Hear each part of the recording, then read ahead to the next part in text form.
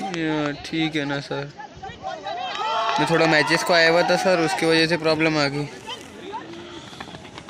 हाँ कल आया तो भैया, मैं आपका नंबर है ना, ये मैं आपको कॉल करता हूँ।